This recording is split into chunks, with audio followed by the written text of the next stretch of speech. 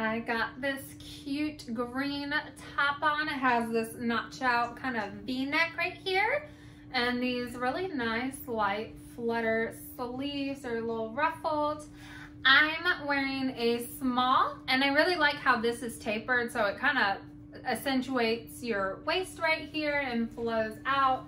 Kind of has a tulip hem on the side long enough if you wanted to wear some leggings. I paired mine with some jeans and it's really cute. Really love how it shapes your body. Like I said, the tapering kind of in here.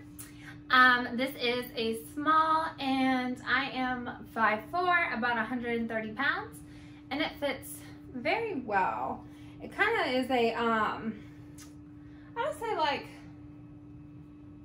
cottony-ish, maybe polyester blend. It is little light, but not too light. Definitely is um, a great summer or spring shirt.